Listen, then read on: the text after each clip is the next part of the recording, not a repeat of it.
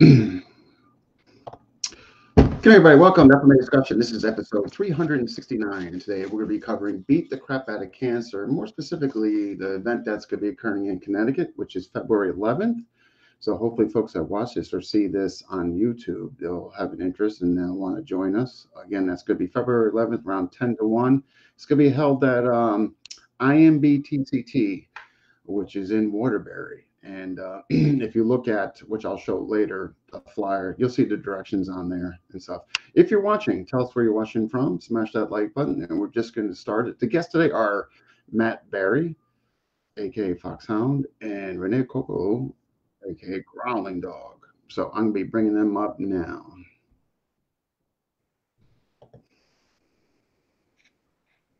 Hey guys. What's happening? How are you?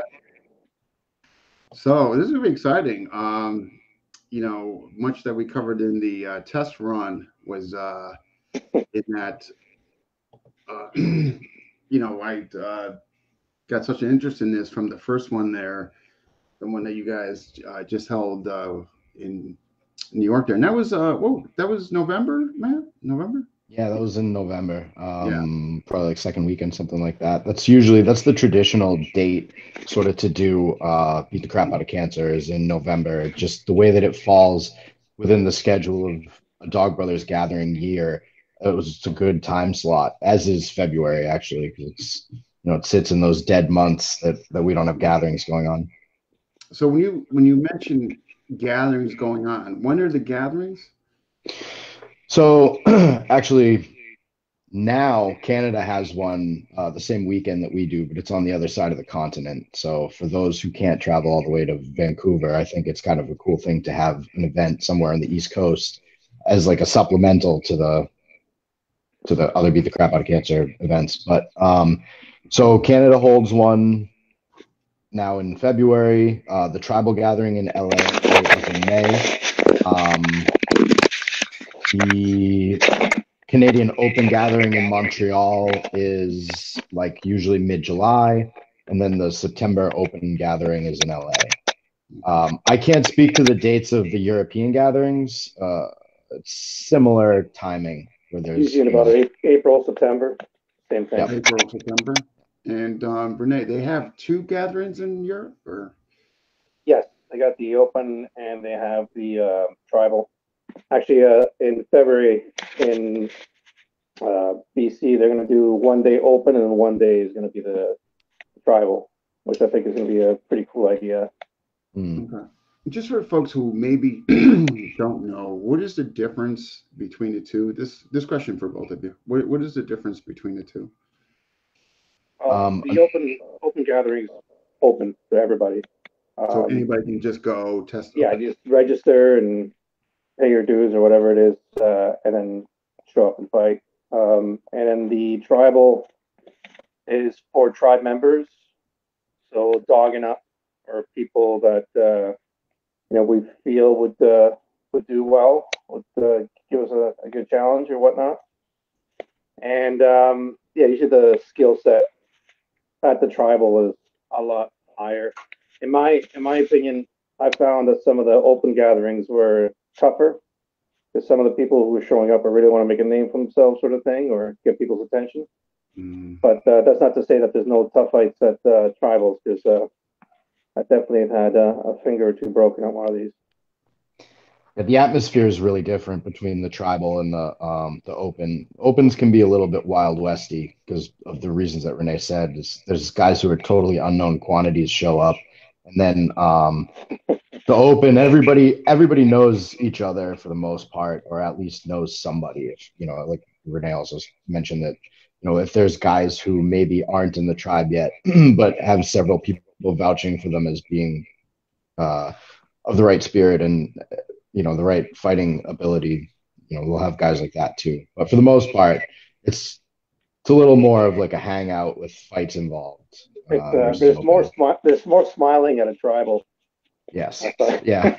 you know, when you go to a when you go to an open, people will be like, "Hey, this is great! I'm so happy to be here." And as they slowly progress to the front of that line, you know that smile is gone, and it's either the shared look of terror or, you know, the, a look of murderous thoughts. Yeah. Um, with the tribal, like I remember, like you know, uh, the time that I fought Foy, I literally like we were cracking jokes until we crossed sticks. Then it wasn't funny anymore because he broke my arm. But um, um, you know, it was uh, it was good. You know, it's it's definitely a a very cool vibe. Mm, wow, wow. Do you? This is for both of you. Um, there's not. They're on the West Coast, Europe, Canada. Do you guys foresee something um, now that Marc Denny has moved to North Carolina? Something coming on the East Coast? That'll be a Matt question. I I I don't see there being necessarily like a full-on Dog Brothers uh, gathering on the East Coast. I mean, you can really only do these things every couple months. Um, and I think having a couple of other supplemental events, I know like the uh, the Northwestern guys have their Teep on Teep on where they have like a pretty decent level of fighting, and other other people have things like that. I think having smaller regional stuff is nice. Um, but I, I don't necessarily foresee there was sort of the uh, the tossing around of maybe having um, a, a moving gathering, like a traveling gathering as the open. And it sort of because of COVID, it shit the bed right away. But Mm, um, yeah, I don't I don't think that's gonna happen. I think LA will be will be the spot. Uh, uh, personally, That's holy ground, though, right? So yeah, for sure. Yeah, per personally, I think going to LA is part of the experience. Like it's part Mm. like traveling out there. I've this is going to be my 13th year of fighting in Dog Brother gatherings, and um, for me, LA really has like a, a a piece in the puzzle. I think, which I can only handle it for a couple of days, um, and then I need to leave LA. Sometimes 24 hours, depending. Yeah, I can't imagine yeah. that place has got to be a. I mean, from where I come from, that place has got to be a jungle. I can't even imagine LA. It's Um, a zoo. I've stayed all over the place in LA too, um, just from, you know, doing most of this stuff on my own. Where uh, not until the last few years have there been other guys in my area who were traveling and and training the same way. I mean, Jeff's been around, but I, he hadn't been to LA until recently. Um, so getting Airbnbs in different parts of the city or staying in hotels. Uh, I've seen almost all of the various flavors of LA, and uh, mm, man, there's a lot. But saying there's a lot of flavors to LA is like saying there's a lot of flavors when you lick the seat of a bus, uh, mm, you know, a bus seat. Mm. Yeah, there's a lot of flavors there too. So yeah, I mean, Um, just the LA airport too, man. I mean, that's got to be like a city within a city. It's just, LAX is pretty huge. Yeah, that's a real but- unknown for me. Like, cause like Matt, when I first started going, I was going on my own, like no idea. Like LA is, you know, it's huge, right?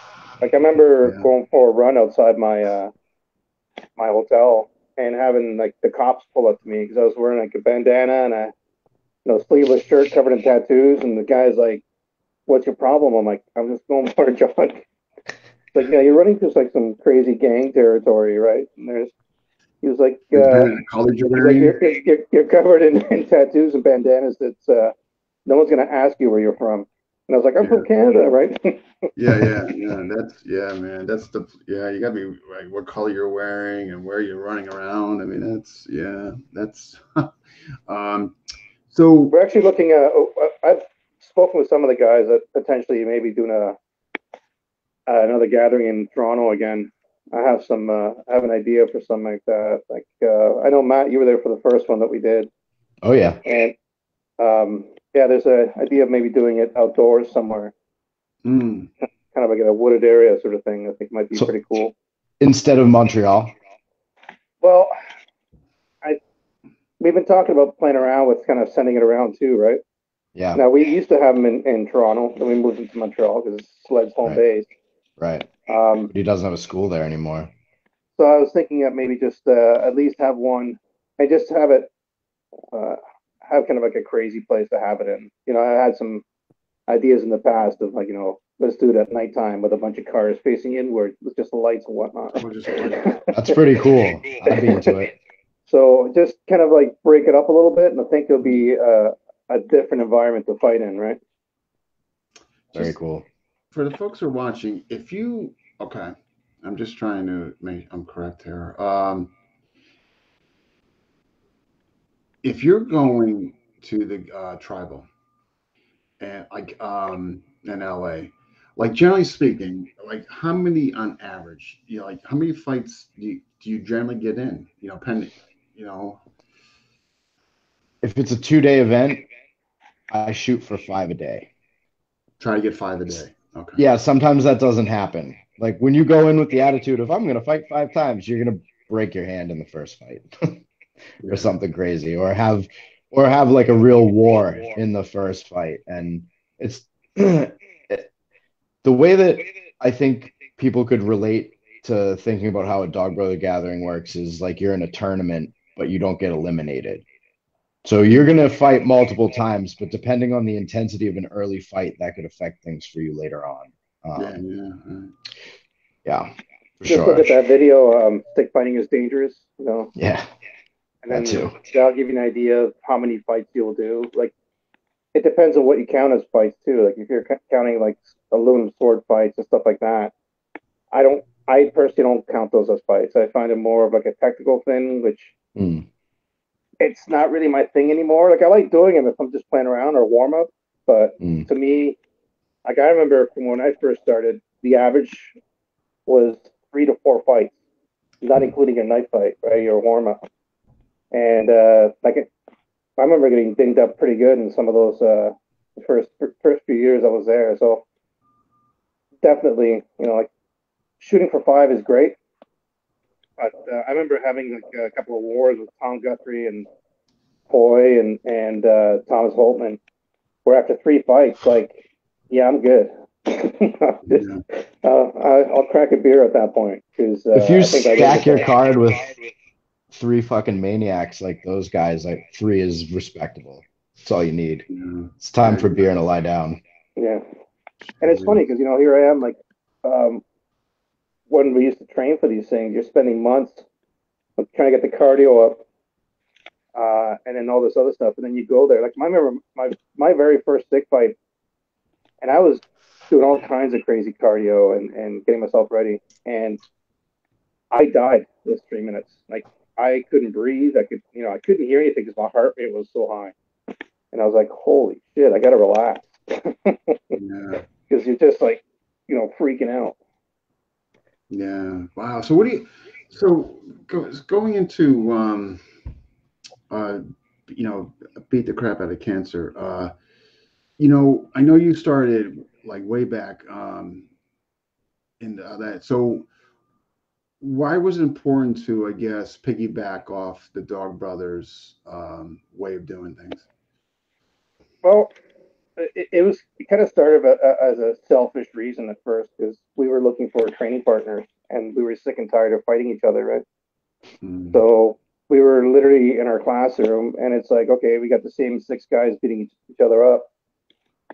So then we kind of decide, okay, let's put out this mass, you know, call out to everybody to come out and hang out. And um, we ended up having like 46 people show up for that first one. And so you go from having six people to all of a sudden it's a buffet of new people that want to fight mm, and um, but it just um, I don't know, it just kind of grew from there. So it was like it was a beautiful thing uh, to see all these people from different groups that come in, and then it kind of morphed into what it is now. But I'll tell you, the first beat the crap that we had was closer to a gathering than it was a beat the crap after, because people saw what we're doing, and then they're like, "I want to try this." mm. I'm not sure if I answered the question properly, but Yeah. No. No. No. No. No. No. That absolutely did. So what do you? Uh, and uh, and like the the first year uh, went well. The second year we moved to LA as well, okay. and just uh, it grew. And it was to me it was kind of a feeder program because I wanted to get more people involved. Because uh, before 2000, uh, 2007, there's only two dog brothers in Canada, and that was Philip and Loki. And meanwhile, there's an explosion in the U.S. and Europe. So um, what better way of getting people together who want to try something than maybe you know make it fun, and then it kind of reminds me, you know, it reminds me with the top dog. He'd tell me, well, you know, when it, when I first met people and I said, hey, I want to fight you with a stick, they'd be like, no, and he'd be like, hey, try this glove on. Well, that glove pretty good? Let me tap you in the hand. It doesn't hurt that much, does it? All right, here, check. Put on this helmet. Oh, you look cool. Okay, let's go. Bert, you know what? Burton, my teacher Burton would tell me like he was so creative in that aspect, like just to cajole you into like getting out there and going. And before you know, it, you're like, I mean, Burton. These are Burton's words, of course. You know what I mean? Um, and Burton said he would have all kinds of tricks like that to get folks to go with them. And um, yeah, it was kind of funny the way Well, they, he, they had he the. Midnight Club at the Inosanto Academy, right? right, and he referenced that a lot. Yeah, yeah, you know. So yeah. And, uh, Yeah, we all have friends like that, you know, like you, they'll talk to you for five minutes. Next thing you know, you're crossing the border doing something stupid. Um, uh, like I remember when I was talking to uh, uh, Top Dog on the phone once, and he's like, "Hey, you and I should fight," and I just like said, "Yeah, okay," and I didn't even like the thought of, you know, let's think this through. Didn't happen because he was just so nonchalant about it. And then I was like, for like three weeks, I was scared. Like I was like, this guy terrifies me. And then I was like, okay, I'm feeling better. Uh, I'll just go pick him up at the airport. And when he saw me, I've never met this guy in my life. He's like, Rene, and he runs up, and my nose touched his sternum. That's when I realized I'm a dead man. so yeah, it was uh, it was pretty cool. Yeah, I think he put fear in a lot. I mean, wow. I mean, some of the stories Burton has told me just, um, and this is from Burton's again, direct from him. He said that one time came on the roof, and before he went to overhook that piercing power thrust, Burton says to this day he can't feel that part in his belly button. man, that is freaking some power, man. Uh, Oh, he he cracked through my ribs, and uh, and I played a well, it's kind of a mean joke. I played on Randall Wolf Dog because I knew who was fighting him next. And I walked up and go, I just fought Eric. I think my ribs are broken. And I lifted up my shirt and it's all bruised and bloodied. And I'm like, oh, you're fighting him next? Good luck. oh man, that's cruel. yeah, but it was funny because uh, I could see like this look of you know like yeah, I'm I'm about to do this too. Like, oh my god. Yeah, that's uh. So, so uh, Matt, what was what was the first one you went to uh, beat the crap out of cancer? Uh, my first two years of Dog Brothers, I had fairly catastrophic injuries at at the open gathering, so I didn't uh, do beat the crap. So the first one I did was in Toronto. Uh, it was either at Fighting Arts at Wandering Dogs, um, old No, school, it, it would have been at um, or combat at the time. that big, yeah, yeah, yeah, that big open place. Yeah. Yeah, yeah. So I did a few up there. I was taking like 19 hour bus rides from Boston, zigzagging through fucking New York, stopping, switching buses. I'm too old for that stuff now, but uh, yeah, I did whatever I had to to get up for those things. And it.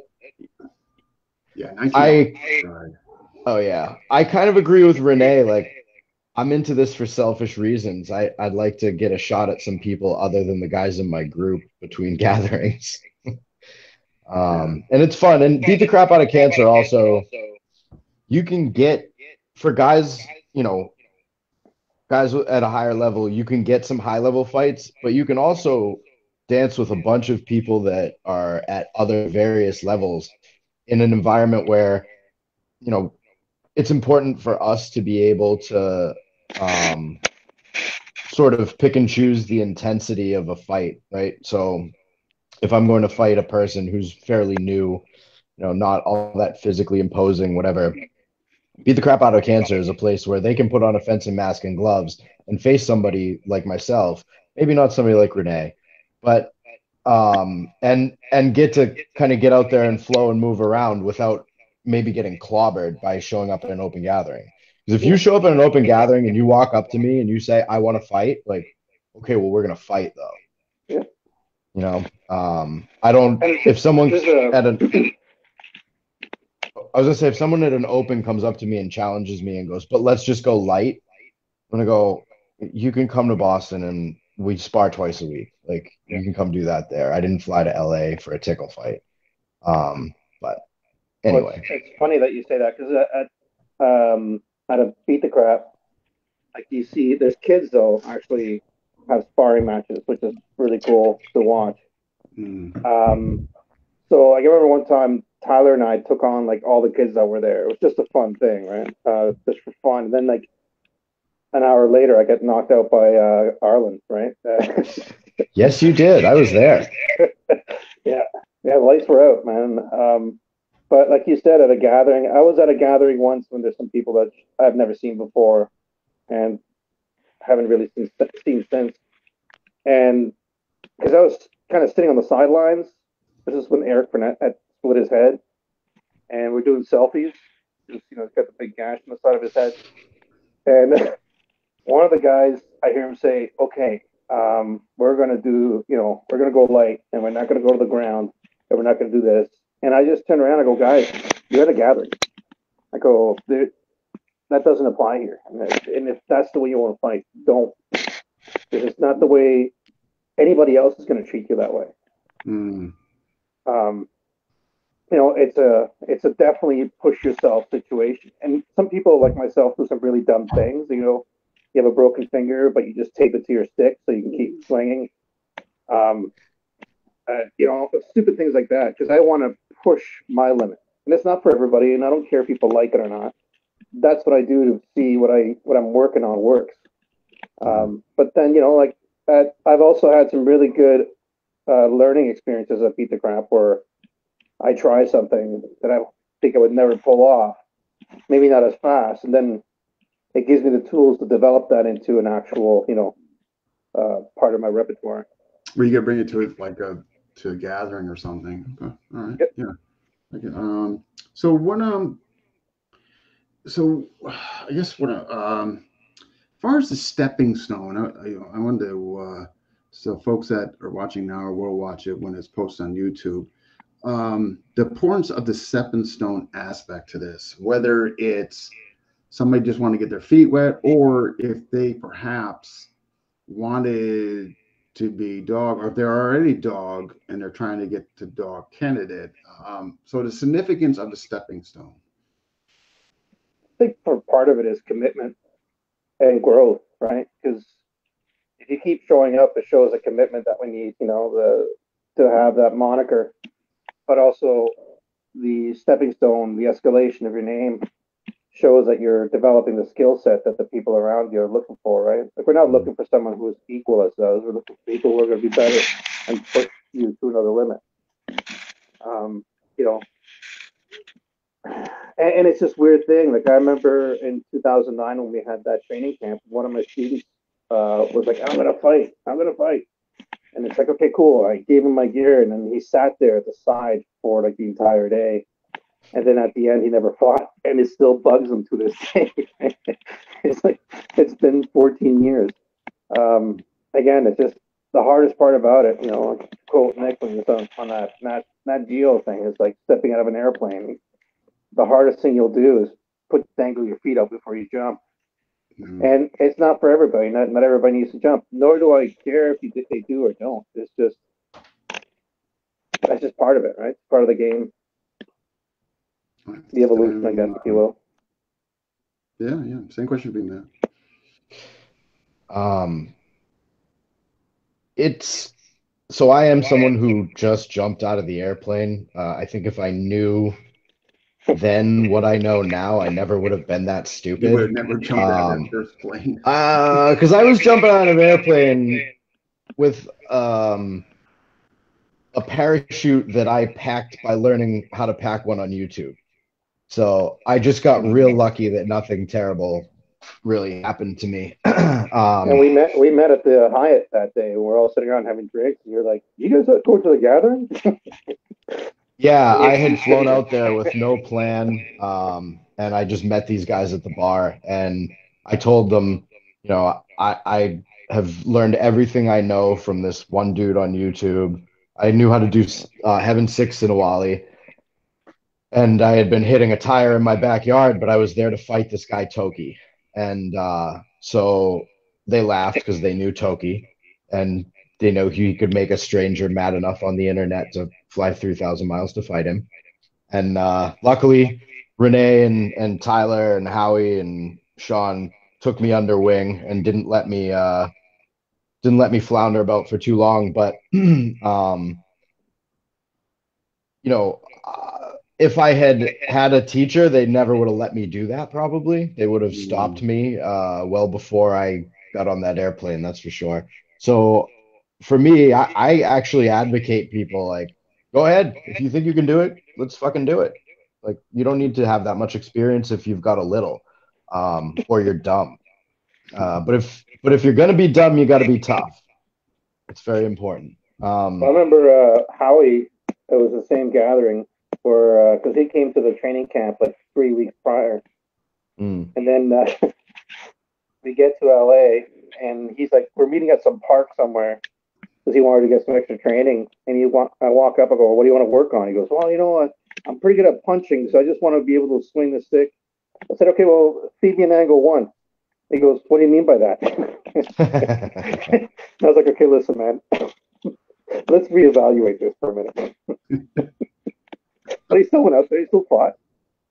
Yeah, some people do it that way, but I think for most people that's not the answer. And having, you know, to go back to your question, having something like beat the crap out of cancer is really important because it does provide that stepping stone for someone who's not ready for their first gathering or or maybe they are and they don't know it. I think that that's a big part of it too is that, you know, for for some guys they need um an experience where they're going to get you know experience the structure of it um, experience being around some fights that are intense and then also seeing like oh you know i can get my feet wet a little bit. Um, but then you know if you've done beat the crap out of cancer once and you felt pretty good about it you do a gathering. But get in there and see what you know see what comes of it because uh, you don't know until you know. Look and, at the evolution though in the short amount of time that we've been doing it right? Like before there was stuff on YouTube and stuff you could find, but nowhere near what you can find now, right? Like oh no, when I yeah, when I started, I didn't have access to any of what I do now, as well as you know downloadable training videos between um between Crafty's DBMA stuff and Lonely's DBMA stuff. There's a ton of um, material out there that it's not easy to teach yourself a physical skill entirely because um, it's just, you know, you don't know what you're doing wrong eh, if you're fucking it up. You know what I mean? You could watch yourself in a mirror, and if you're very self aware, you can pick up if your angles are good or bad, but you don't know until you have another person who is knowledgeable critiquing what you're doing in front of you and kind of yeah yeah yeah exactly and the same thing with sparring like until you've got some spatial awareness and sense of distance and timing you could do all the drills in the world, but when somebody's running at you, just throwing ones and twos, you're gonna get clobbered. Yeah, yeah, that's so. Um, especially new people. Yeah, I mean, I so, find it just terrifying. you know, it's funny. First, when I went to there, it's much like your experience. Well, not similar to your experience because you were together, but um, it's not that I haven't like put a helmet on before, but I never did with that many people looking. And I was just like, man, I go out there, I screw up. Yeah, they're really gonna think like, yeah, man, what's this guy, you know, teaching or whatever. So after the, so I'm thinking it was like a, there was a big clock there. So once in a while I was able just to kind of see the time um, and all that. And I'm thinking, and I was dying. Like I've, I'll admit it, I was freaking dying. Like I'm thinking, like there's 30 seconds left. I'm like, holy crap! But you know what happened after that? I think I got it out of my system. I think it was just all that built up like anxiety, and it just manifested, and it was so taxing on me. I'm like, holy crap! And I'm thinking, like, yeah, am I gonna be able to do any more matches? That's another reason. That's another reason I like the tribals because they norm. There's no crowds. I, I remember the first gathering I went to. There's like, I don't know, a couple hundred people, if not more, sitting in the bleachers. Yeah. everybody's screaming and yelling, and you're like, "What the fuck is going on?" And then some dude with a camera is right in your face. like, What's your name? Where are you from? And it's like I have a mouth guardian. I can't speak. mouth is all dry. yeah, that was like yeah, just everybody watching, and um, I don't know if it's because I do have partly social anxiety and like all these people, and I'm just like, oh, and I'm trying to block them out and trying to focus. And it, I tell you, that'd be the first one to admit, it was initially a lot for me. You know what I mean? But I tell you, as the day went on, I kind of just, you know, relaxed, and more relaxed. And then when I found everybody was so friendly and down to earth, that too made it just so much easier. You know, I didn't see anybody like egos and but there were some I tell you, they were tough. You could tell there's some tough dudes there, man. you know, no, you know, I, I, tell you, man, there are definitely some tough, tough dudes there. Um, so when you uh, why would you recommend this?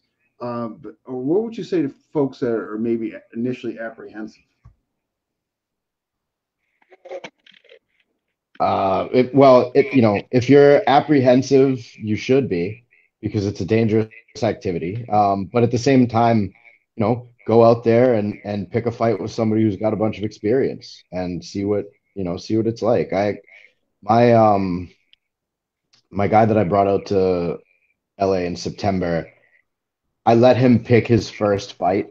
Or well, he did a knife fight with Catch Dog, who is going to kick you in the head and do all kinds of other stuff to you but it's still it's you know it's just a duel with with aluminum knives so you're sparring more or less so i let him pick his first stick fight and uh he was very successful i'll just put it that way because i don't want to part of the dog brothers thing is not you know not disparaging somebody after the fact so that no one is afraid to get their ass kicked basically like it happens to all of us sometimes so uh Scott was very successful in his first fight, and I was like really excited for him. I'm like, high five, man. But here's the deal that's not happening for you again.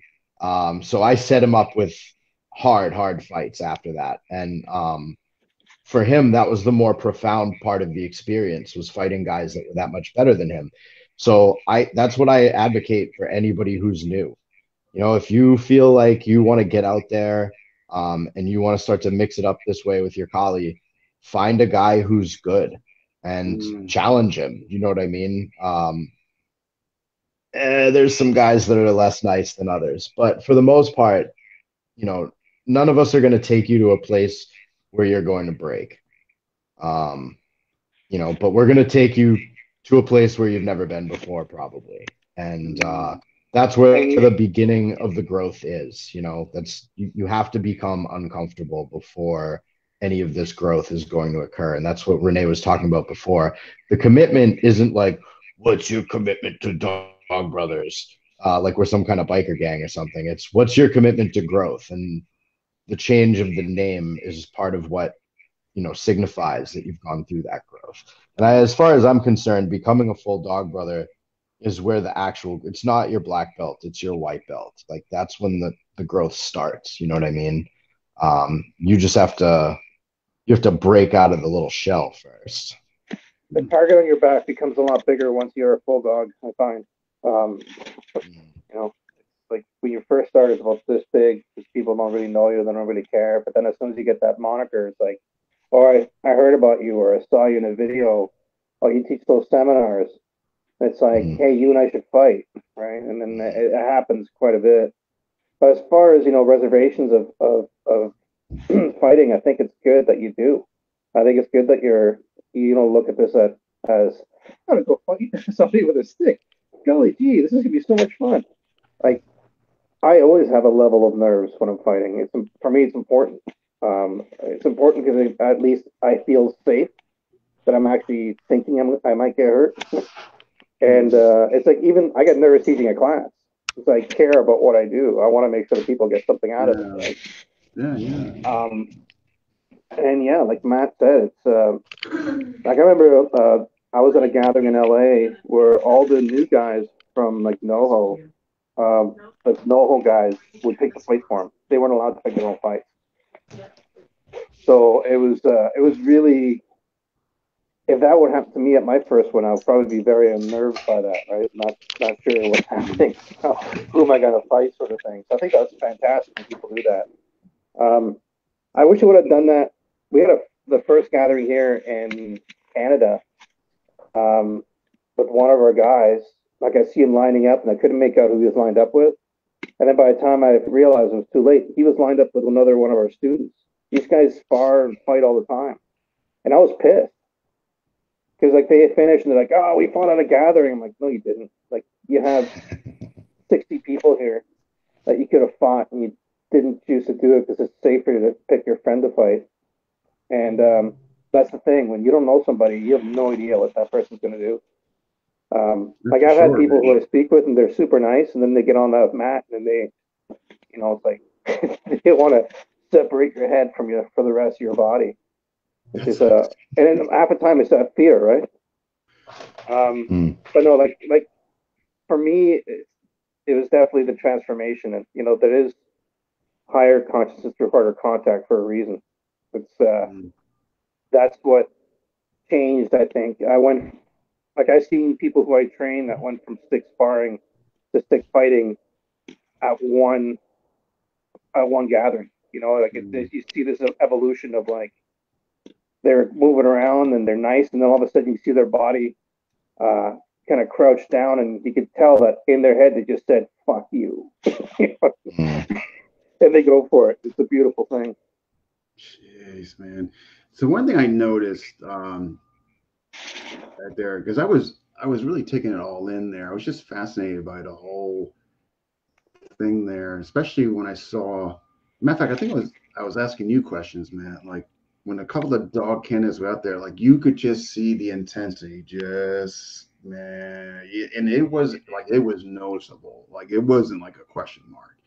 You, you know what I mean? And um, yeah, and uh, and so was that the preparation for the full dog, or is is that the idea there? Yeah, there were four or five guys at that event that were at candidate level, and when you're at that level, for the most part, you're uh, you're you've got your eye on one thing, and it's becoming a full dog brother. Um, and so when you get those guys together, they they're gonna scrap hard. They're trying to show something because you know there were there were a couple of full dog brothers there who these guys are trying to show. You know, there's a couple of guys from my group, a couple of guys from New York yeah, me and Steve see those guys all the time, but they want to, sh- you know, sort of show the other group's leader where they were at because we don't see, like, I don't see the New York candidates all the time. I see those guys once in a while. So, you know, seeing um, Chris and John Kleinman particularly, know, going out there and fighting hard, they're,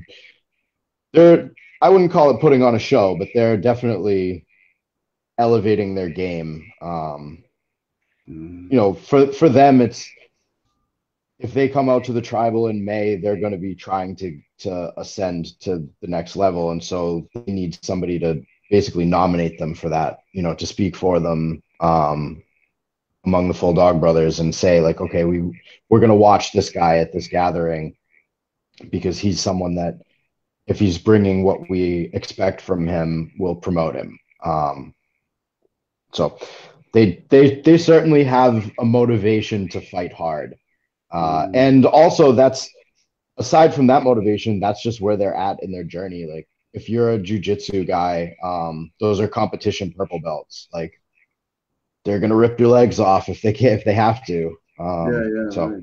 Yeah, it's cool it's cool to see though it's cool to have a couple of guys uh, coming up in the groups behind behind us because it keeps number one it keeps you on your toes when you fight one of those guys they're not going easy you know they're they're out there to show you that they're good and so Mm. um you definitely have to as a full dog brother you have to mind your p's and q's for sure when you're accepting fights from from guys like that because they're looking to elevate their name and sometimes they're looking to elevate their name by showing up hard against a dog brother so There It's a people thing. There's some people who just have two modes. It's either on or off.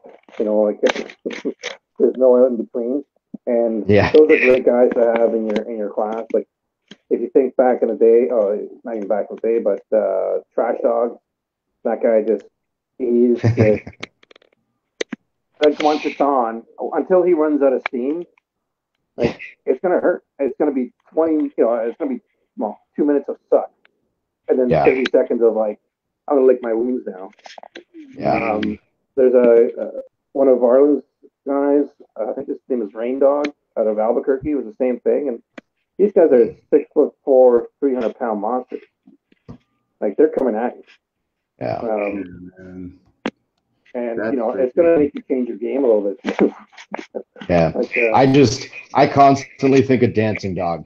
When I'm training, it doesn't matter what I'm doing. When I'm training, if I start to like kind of, you know, wuss out on something, I just picture Vincent like swinging a stick at me. And I go, I should keep training. I should keep going. This is uh this is a person that I am uh not I wouldn't say afraid of, but I have a very healthy respect for his physical abilities I'm as well as his Amy. physical size. I'm only not afraid right now because I'm 3,000 miles away from him. uh, you know, it- When we're like in the same room, it's different. it's funny because you know, like I had this weird thing that when I meet people in my head, everybody's always the same height as me, and it, like I never see anybody bigger or smaller than me. I always see them as the same height. And it wasn't until I had a picture taken with uh, Dogzilla where I looked like a small child. And I was like- man. He's coming on is the show. I think I'm gonna try to get him on. He, that's a big, yeah, that's a big deal. Oh, man. He's an interesting guy too, man. If you can get him on, Yeah, let him go about some of his stories. He's a he's an interesting character. Yeah, he's in Florida now, right? Yeah. Yeah, yeah, he's an East Coast guy. I saw a picture of, uh, um, I think it was Ryan Thomas. I think Yeah. the picture. Um, yeah, I'm gonna see Ryan Thomas actually at Chad Bailey's camp. Oh, Um, cool. Yeah, so um, I guess Ryan's filling for somebody I guess that couldn't go initially, and I guess he might be showing some Krabi Krabong. Cool. You know, so um, Cool. but uh, so who at the um one in New York? Who are the Full Double brothers? Just you and Steve, Uh, or yeah, myself and Steve, myself and Steve, and then um, there was um, Je you know, Jeff is candidate Buffalo Dog. Uh, Tim from Maine was there. He's candidate Guardian Dog. Uh, John's candidate Lone Wolf. Chris is candidate Chi Dog. There's uh, if I've never told you why he's candidate Chi Dog, I'll tell you off the air. Um, there's uh, then a few other guys that fight in our group that are either dog or you know just guys that are working their way up. Didn't Um, Pat come down too to New York quite a bit? who's that? Pat, Pat. So Pat, yeah, Green Mountain and his wife were actually on a hundred day road trip um, during dur during the period that beat the crap out of cancer fell this year. So he didn't come down. Um, I think uh, I think probably for the next one we'll see him. There was some uh, their school up in Burlington um, sort of sp- like went half half of the people sort of went one way and and Pat and um, Rob Farr and Amber and some other folks opened another school up there that isn't of appropriate size for beat the crap out of cancer. So the first one when I got home in 20 uh, 2021 um, they just didn't have a, a place for it. So we didn't see them for that one. And then uh, they still had Burlington was still pretty COVID restricted too. So we did that one um, in the Boston area, outdoors actually. Just we happened to get a good day for it, so it worked. But um, yeah, he didn't come down for this one either because, like I said, he and he and his wife were on the road. But uh, I would expect to see him for the next one probably. Um, I have not seen Pat since I beat the crap out of cancer 2019. They had in Burlington, so he was there. So I saw him then, and then you know the the pandemic, and I was in California for most of it. Um, just haven't haven't crossed paths with him, but should be uh should be not too long before he comes down from his mountain for uh for some stick fighting. He's another guy who's terrifying. Pat um Dean Green Mountain Dog was my Pekiti Tirsia and uh Krabi Krabong instructor for the first few years of my doing Dog Brothers. And uh he's another large agile individual. Um, he is trained under Sled Dog and Loki both, and um, Loki's guys, the tricky bastards, have a very like if you've seen sort of if you've seen a couple of them move, and then you see another one, you go, oh, he trains with them kind of thing. So Pat has a very similar idiom of movement to those guys, but a very different build, uh, which I is kind of cool to see. sock on him. I actually broke Yeah. my sock on him. That's how. Uh, that's again. Like, and it was just like, oh, what happened? and it's like I Uh. remember just like this thing dangling. It's all broken, and I was like, ah, yeah, He's a- good. he's a formidable gentleman. Formidable. Put it that way. Jeez. He's a formidable gentleman. Very That's the nice. crazy He's part a with a very lot of these guys too. Like they're they're when they fight, they're demons, and then they're just the nicest people I ever meet.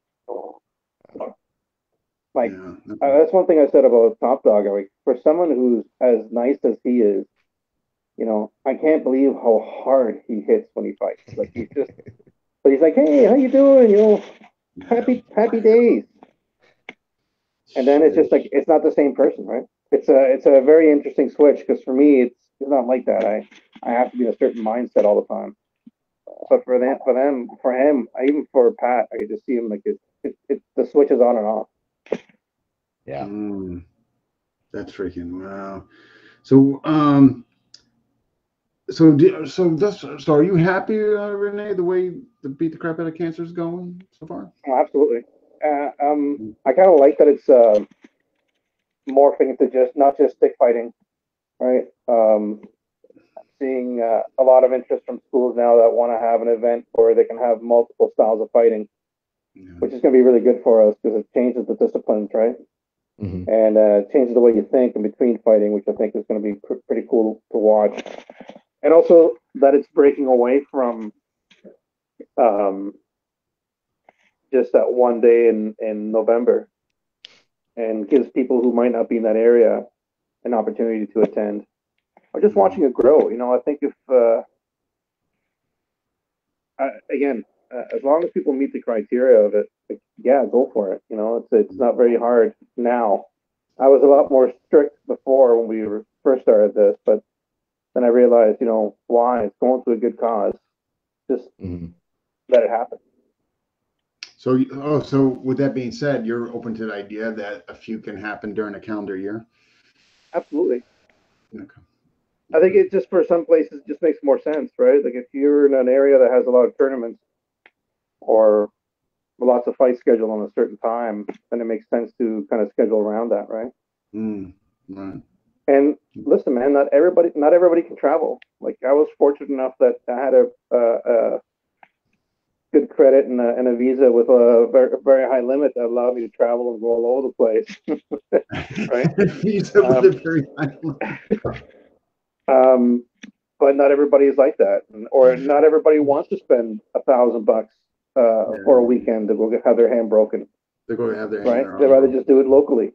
Jeez, that's that, yeah. I don't want. You know, I'll get my hand broken here. I don't know if I want to spend it. Right. Yeah. So Well, uh, that's Like the, the when I when I broke my arm, I can rephrase that. When Kalani broke my arm, so it was like six months of training. I was, and that's the first time I've actually like really like was doing crazy cardio, lifting weights. Because Kalani hits really really hard, and after our fight, he ended up with a broken hand, and I ended up with a broken arm. First fight of the day. So I was like, and I think I just spent fifteen hundred bucks to fly down here, plus hotel, food, and everything else, and it was still worth it. But man, you know, uh, nowadays, I would probably uh, not want to spend that kind of money.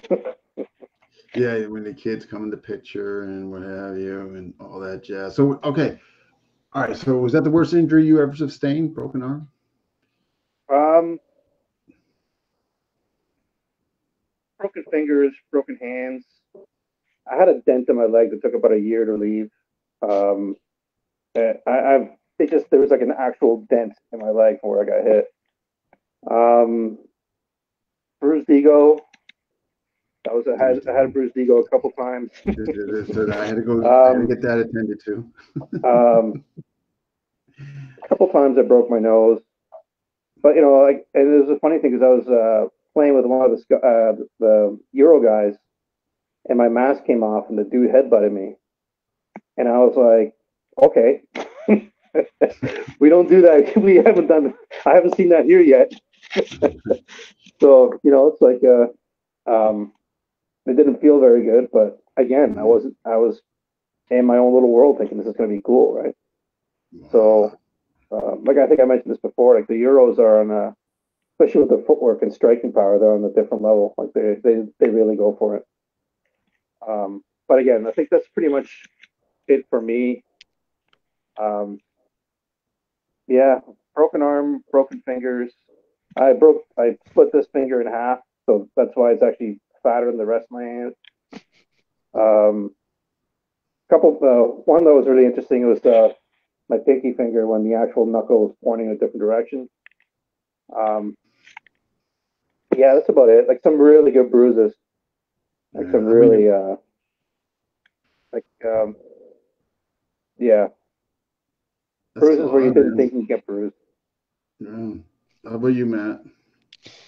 Uh oh, worst one is an easy one. I got um stabbed in the left ear with an aluminum trainer by a yo dog. Um, in my second gathering, we had kind of gotten in a stick clinch, and I dropped my stick and did a tie, like plum clinch. I pulled his head down, and he had a knife like hidden on his person, and he pulled it out with his left hand and went over his head and uh, he didn't know that my mask had turned. He couldn't see because his, you know, his head was down. And I was trying to knee him, and uh, so he just jacked me straight in the ear with this thing, and it split the conch of my ear, uh, split the canal, and it broke my TMJ, your transmandibular joint. Um, so now it clicks when I eat, which is sweet.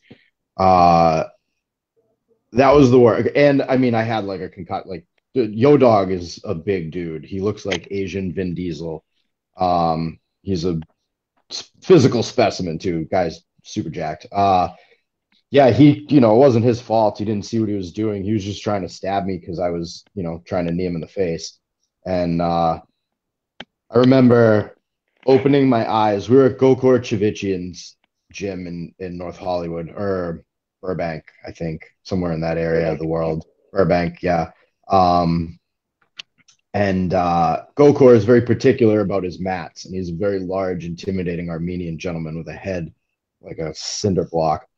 Um, I don't really remember it happening. I just like remember opening my eyes in the locker room, laying on a bench, and the first person I see, Gokor, is just giant granite dome appearing in front of my face, and he's like, "Are you all right?"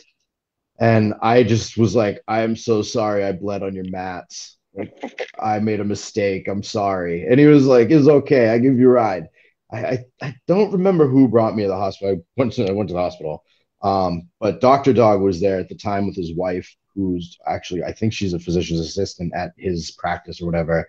And he comes in with his bag and he irrigated out my ear and he goes, Okay, I might be able to stitch this. If, if I can stitch it, um, will you promise not to sue me? That's what he says. And I was like, yeah, man, if you can, if I don't have to go to the hospital, because we didn't realize, I mean, I had just been hitting the head really hard. So I didn't really realize what was wrong yet. And my jaw hadn't started to, t- like, it tightened up while I was at the hospital. So at the time, I was like, oh, I just have a cut in my ear. Yeah, Rick, stitch it up. And as he irrigated it out, he looked down, he goes, oh, he goes, this is split like right up to the drum. And he goes, you, you got to go have uh, have this cleaned out well and and stitched up. And he goes, and he looks at me, goes, and you could probably stand a CAT scan. so it's like, okay.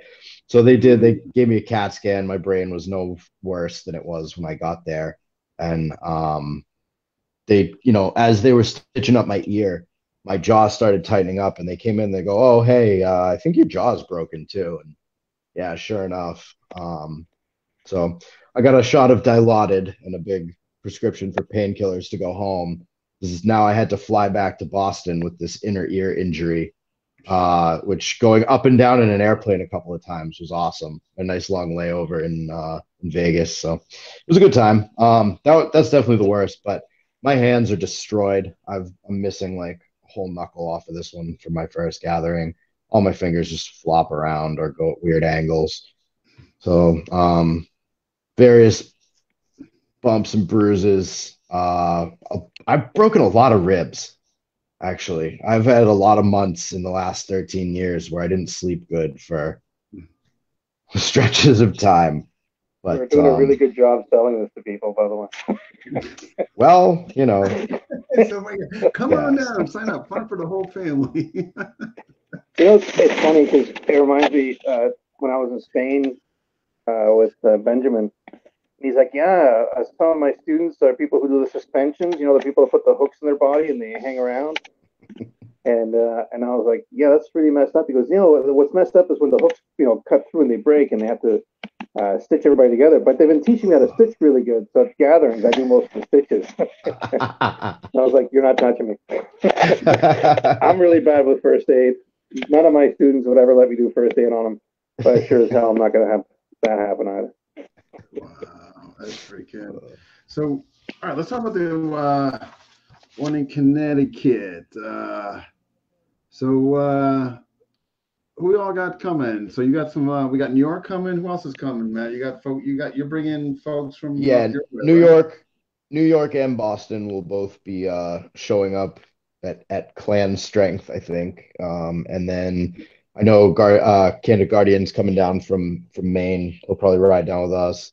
Um, we've got some HEMA guys uh, from a Boston, yeah, from a Boston HEMA school that are um coming down. Specifically, I think they're looking to do some some wrestling and dagger stuff. That's uh Ian from Boston is their um he's the wrestling and dagger coach and he does harness you know, full full plate stuff as well. Um not uh not Battle of the Nations style stuff, none of that like human bumper cars shit. It's uh he works off of historical manuals and his own martial arts experience. He's he's come and trained with my group a bit um, to do some sparring, and uh, I will absolutely vouch for the fact that the guy can can fight. So uh, it'll be interesting to see those guys. I know some of my local um, local grappling buddies have have expressed some interest. So we should see uh, we should see some folks coming down for sure from up here, and um, I know there's some similar similar rumblings in New York. Um, but I'd love to see, you know, I'd love to see people I don't know. Um, you know, I'd love to see some people I've never heard of before just show up for a day of uh, of you know some good hard sparring, um, and some ex- exploration and some growth. You know what I mean? It's it's supposed to be kind of a lab more than anything else, you know, for yourself. And when when these events are done, we all go back out into the world to our real lives, and um, you take what you take what you've learned with you, and if you're smart, you're going to apply that stuff to your real life, whether it's um, like an actual self defense situation, obviously applying the fact that you've got a set of skills and a comfort with um, with physical altercation, but just in general, like you you learn things about yourself and you can you can work on those things. You know, um, uh, quoting Fight Club is cliche and whatever, but how much can you know about yourself if you've never been in a fight? And by fighting, you can really explore things about yourself. And I think that fighting in a Dog Brothers um, type environment, you know, whether it's at Beat the Crap Out of Cancer or uh, at a gathering or just, you know, a, a smaller, I know like they do um, sparring days in, in the UK and other parts of Europe where guys are able to get together and, and air some things out and really test themselves and other people. Uh, I think it's healthy for a martial artist. I, I mean, this isn't for everyone, you know, but it's for anyone. Um, that's a that's a way that I like to put it to people. I don't I obviously like telling stories of our broken bones and bruises and stuff. Yeah. Uh, that appl- that that appeals to some people. They hear that and they're like, "Fuck yeah, like, that's badass. Like I'd like to do something like that." And then there's other people that hear that and they're like, "Why would you want anything to do with with that kind of environment? Like that's Mhm. terrible." Um, for me, obviously, I think uh, we know which which way I leaned when I was like, "Whoa, stick fighting is dangerous. Like, this is a good time. Like, we're gonna get out there and fuck some shit up." Um, other people need a slightly different environment to be exposed to the situation so that they become comfortable in it. And without having events like Beat the Crap Out of Cancer, I think we might miss out on some people. So, um, yeah, I would, I would really like to see some some new people. And the other side of the coin is what we're doing there in the first place. You know, um, Mm. Rene and I are both quite gleeful about the getting to beat people with a stick, and I'll do it for free in a park a- any weekend. But um, having an event like beat the crap out of Or on your cancer. OnlyFans too, right? Well, my OnlyFans is a different thing. Um, the, the stick fighting is a whole other. Well, that's another podcast. Um, when uh, thank you. Uh, when it comes to raising money, there's different ways to do it, and you know, I'm not good at all of those things. I'm good at stick fighting, so I like the idea of uh, raising money through stick fighting. And for the November event as well as for this event, Mm. um, we've sort of set the same bene- we've set the same beneficiary, um, and that being Classic McQueen uh, on Instagram. Michael McQueen is his name. He's going through um, chemo right now for late stage throat cancer. Uh, he's a very good guy. I've known him through social media for years. Uh, he extended kindness to me a long time ago when he didn't have to, and it's something that when you know this came up, I was more than happy to try and um, lend any influence that I have to to helping him out. Um, he's a travel photographer. He really got hosed having this happen to him right after the pandemic when he couldn't travel. He's got other irons in the fire, but he took some major financial hits, and then to wind up in a situation where um, he's going through some real expensive uh, treatments, you know, to to save his life, and having communicated with him through the first round of chemo and watching what it physically did to him, um, took a not took a toll, but like had a it had an impact on me. Um, and one of the major things was to not take not take my own health and ability to to do what I want to do for granted because you don't know, man. He's not an old guy. Um, and to have everything taken from you in one fell swoop, uh, just by you know the the fickle finger of fate, it's it's real and it's out there. So I feel like using um, the thing I do uh, to help raise money for somebody in that regard is, you know, that's it's a warm fuzzy for me. I, I think, um, and I think that Yeah. it should be. You know, there's no such thing as as altruism. I think like there's no purely selfless uh, good deed because you at least are going to feel good about the good deed you do. Um, Yeah, if that right. makes sense. So, and and that's not uh, that's not to say there's anything wrong with that. Like you should fucking feel good if you do something nice for people.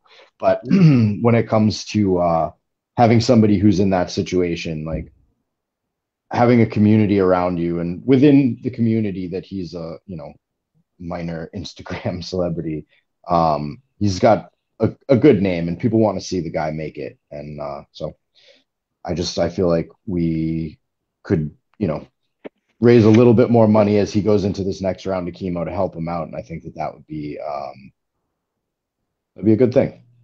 So now I'm rambling. to- And there's that uh, there's that thing too where like when we were holding these Toronto events, there were corporations that started reaching out and just saying, "Hey, I know you guys are raising money for cancer.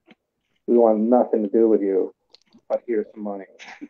like we don't, Mhm. we don't, Here's a, and that's that's I'm telling you, um, uh, it's been really cool. Like I think the biggest donation we got was like twenty or thirty thousand once holy they actually dropped that money, and I was like, "Whoa, that's you know." They're like, "You guys are doing something," and you know, I think again, these people have more money than they uh, they more money than they can know what to do with. So it was nice that that happened.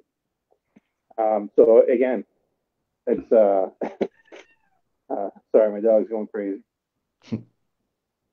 Anyways, uh, yeah, it's um, it's good that we can you know even send it out. You know, like just if we can tell uh, if we can put it online somehow and just uh, stream it where, someone Yeah. can put some money out. That's also a good idea. Yeah, I mean, I have um we streamed the New York event off of one of my Instagram accounts. So Mhm. do something like that again. There is uh there's a GoFundMe page which Okay. um is how how we like sent in our cash donations and had anybody do um any smaller donations that they received online that way. Mhm. Um and I think that's probably what we'll do again this time is have people, you know, have people keep track. I am a terrible bookkeeper. In the end, I ended up dishing off the whole thing to Nick Merchant. Like at the day of the event, I was like, "Hey, Nick, here's an envelope. You're in charge of the money. Uh, here's where to donate it. Like, see you later. Um, so we'll we'll try and be a little bit more organized than that this time. But um, I remember last year we we did St. Jude's for the Boston event, and uh, when I contacted them and told them what we were doing, and was like, "Is there like, oh, can I set up a page through you guys?" And they were like, "Well, we appreciate it, and you're more than welcome to donate money, but we're not having anything to do with you like publicly." So there was that, which is part of why this year. I mean, obviously, just the circumstance of Micah getting sick, but um, this year I was like, I, I like, we could pick one person and help him out. So um, anyway, like, I remember um, like the first few years of doing Beat the Crap when you know I was reaching out to some celebrities and stuff and and seeing if they want to help. Like Doug Marcaida was one of like the only people that I don't know directly, but you know Lee and I have chatted in the past that said, yeah, whatever you need. And it's like uh, just as promoting it and saying, you know, whatever, just helping us out. And then there was um, like other celebrities, whether they're in the martial arts world or not, where they're like, okay, it sounds like a great idea. Uh, I'll have my secretary send you uh, how much money I want for the event. yeah. Like, hey, uh, go fuck yourself. You know. Yeah. There's a little. Not you. Not you. So for folks that are coming, but they could just, um, they of course can just bring cash and get, you know, I guess we'll have a designated person to give it to, I guess. Yeah, we'll do that. We'll we'll do what we did last time. We'll have somebody up at the front, you know, with an envelope and just, uh, we'll, you know, I don't know what we'll call it. Uh, if you if you raise, you know, if you raise more than fifty bucks, you don't have to pay any additional fee, but maybe like a twenty five dollar fighter fighter donation or something like that. Um, to get to get rolling. And then uh, hopefully some people will be able to raise a little bit of money. We got a few more weeks before the event. So Yeah. um Posting there's uh yeah we'll um we'll, we'll post the gofundme. I have my um my instagram my foxhound instagram as well as my um my personal instagram i think still has the gofundme link as my link in bio. So um that's there if people want to start making um online donations or you know we could do it all in cash at the event either way works fine um but yeah That's what we that's, uh, uh, used to do in Toronto. We, we had a um, like administrative kind of you know uh, sign up fee, Mhm. yeah and then if someone raised money, like you said, then we would just forego it. Like say, yeah you waive the fee Everybody who uh, like pretty much everybody who showed up, whether they raised money or not, would pay the fee anyway, right? right Yeah. yeah And then, you know, we used to do T-shirts and everything else, but I found that just turned into a bit of a hassle because by the time I figure out the cost of T-shirts and sell them and everything else, we're donating like a dollar or two per shirt. right Um, but um, yeah, it's definitely the way to go. Um, and we had spectator fees as well. Um, but some of the raffles are pretty good, but I find just if you get 20 guys showing up and everybody throws in 50 bucks, you're doing Yeah, well. exactly. yeah yeah And like, you know, 50 bucks, what's, what's 50 bucks these days, right? It's like two drinks at a bar. Yeah. yeah Yeah. Yeah. Right. right. half a Yeah. carton of eggs Oh, what's that? it's half a carton of eggs Half a carton of eggs. Yeah. Like the Yeah. steak. So, uh, what do you guys? What are you guys' goals as far as the growth of beat the crap out of cancer? Like, what, like, what would be ideally for you guys, like on an annual basis? I like the idea of having the large event where multiple cities, you know, pull it off at the same time, uh, occur in, in November on that weekend. You know, Yeah, that's that's been how it's that's been how it's been, and I like that, and having that be the big thing. But having, you know, beat the crap out of cancer, Connecticut, for this specific cause or for that cause, like having them pop up for causes, I think is kind of a good thing. So if somebody wants to do, you know, if you know, Raleigh, North Carolina wants to do an event in July, cool, sweet. Uh, you know, having it be under the banner of Beat the crap out of cancer to benefit of cancer, and obviously, like eventually, it'll become beat the crap out of multiple, you know, multiple different things. But um, I think keeping it as beat the crap out of cancer and having, you know, proper causes arise anytime you, you know, as long as it's I. I don't think any random person should just be saying I do beat the crap out of cancer. But as long as it falls within, you know, the community that we're a part of, I think yeah. that's kind of a cool thing, you know. Discuss it with Rene as the sort of godfather of the situation and you know whether it's get on here and talk about the location or or some other way to get the word out. I think that, I think it would be kind of cool. I think the, the big thing is, you know, a, a, lot of people say they want to do one until they realize the amount of work that it is, because it is an insane amount of work. Um, especially when I was doing like the bigger events here, like, we're talking hundreds of hours just organizing. Um, so you know, part of the process is if I when people say I want to do one, I would say sure. It's just like when people say I want they want to train with me, it's the same thing. So I was like, yeah, sure. And until they actually show an interest and you know going through the steps, then I know that they're actually serious, and then I can bring that to the table and say, hey, A, B, and C is thinking about it. What do you guys think? Mm-hmm. And also making sure that they stay separated separated enough that it doesn't interfere with you know another event going on. Mm. Um, you know uh, that's the one thing that kind of happened as well. You know, Matt was at the first few beat the, beat the craps that were massive. You know, 60, 70 fighters, like just yeah, an insane amount of people.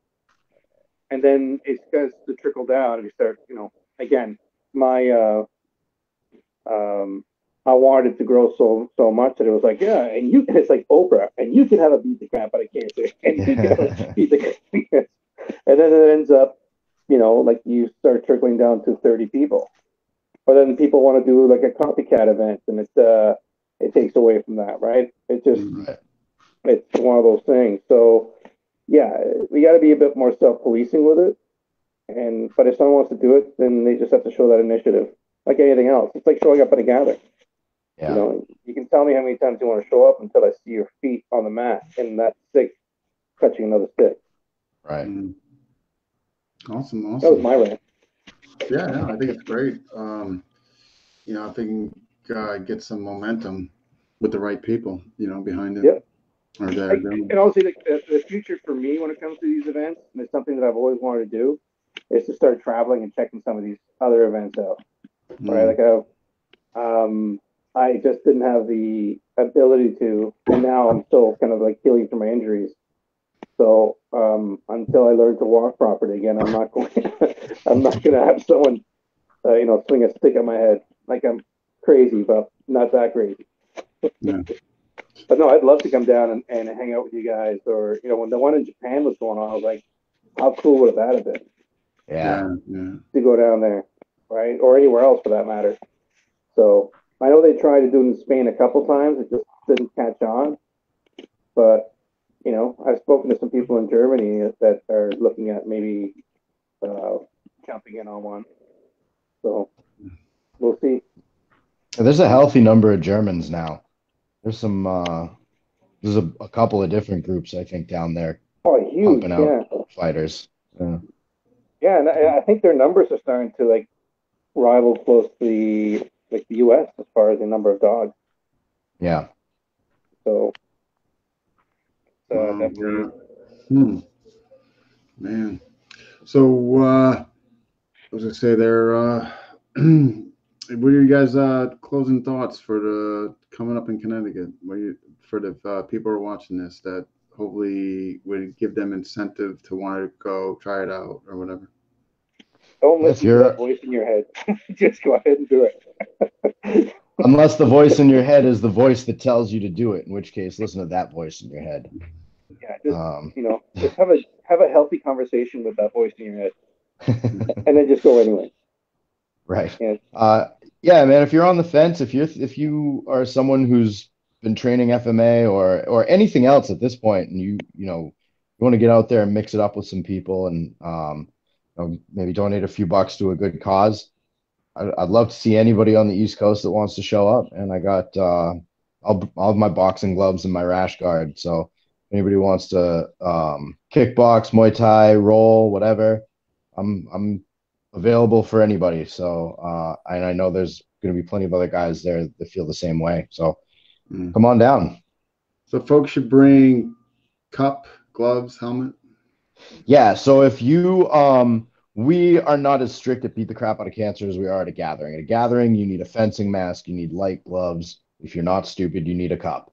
Um, I would definitely recommend, you know, whatever level of safety gear you're into. Uh, I would leave the FMA condom at home, which is uh, the full padded Uh, WEKAF suit thing. Uh, yeah, whatever that is, uh, leave that at home. But uh, if you, you know, if you use a WEKAF helmet as opposed to a fencing mask, that's fine. If you have a, Mm. a HEMA mask that's a little bit, you know, beefier than a fencing mask, that's fine. Um, again, at a gathering, none of those things are acceptable. But um, you know, bring bring the safety gear you feel like you need. The minimum I would say is, yeah, bring a cup and a mouth guard. Um, if you don't have a mask and gloves that are acceptable, someone will have something that you can Mhm. use. Um, you know, sticks, swords, knives, um, staff, whatever. Bring it all. I don't know. I don't know what the space is like, um, but uh, It's got the Do- uh, yeah, it's got enough area. Plus, he's got a ring there, so there should be no issue having Yeah. going at once. cool. Yeah. Well, that was the other thing is if there's enough space, having multiple fights happen at once sometimes is kind of cool. Mm. um, Yeah. especially if there's people that are there that you know don't really don't stick fight if they just want to get in some kickboxing grappling mma type rounds um, having a cage or a or a ring to go along with the open space for the weapons fighting um, is kind of cool so yeah bring what you got you know if you're uh, there to kickbox bring your bring your boxing gloves and your shin guards Mm. if you're there to train MMA, bring those gloves. Uh, if you're just there to grapple, you know, your your um your spandex or your kimono or whatever. Uh, we're there for we're there for it all. So it's going to be again for those who are watching two minute rounds. Um, Yeah, unless we like it, in which case it might go a little longer. Okay. Um, You know, the, the Um, first few beat the crafts, we actually did one minute rounds because the amount of people that were there. Mm. okay. But what yeah. I found when it was one minute rounds, it was go. It was not like let's snake around for five minutes and then we'll attack each other. It was like I got a minute to do this, so let's do it. So and usually, if I had the stopwatch, I ninety percent of the time I never press the button. Um, you see people like it looks like they're swimming under, like they're fighting underwater because they've been fighting for five minutes. Yeah. Um, uh, but yeah, like uh, two minutes is a is a really good time, and I like to. I kind of started switching it back to two minutes because that's how long the, the gathering fights normally are, right? Mhm. So why not give yourself a, a, a time frame to Hmm. what it's like if you ever decide to move forward, right? Yeah.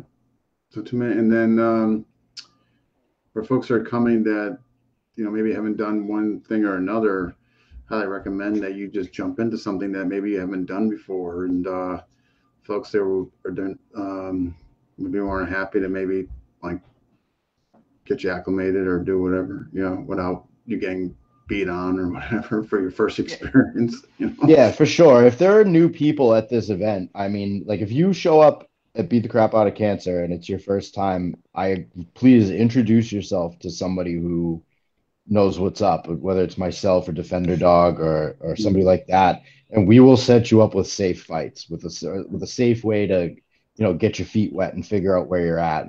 Or, you know, this isn't about feeding anybody to the wolves at all. Uh, this is about, you know, having people have a good experience. It's there's no sense for anybody in uh, in the opposite of that. So I, I would highly recommend if if you arrive at this event and you don't know anybody, start getting to know, introduce yourself to somebody, you know, Mm. and uh, you'll be taken care of.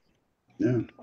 As Dean said, he felt very comfortable, and you know, like there's no ego or bullshit there. Like usually that's what happens at a gathering. Like with same thing like Matt said, like when I used to hold like the bigger events, I would ask everybody who's their first day.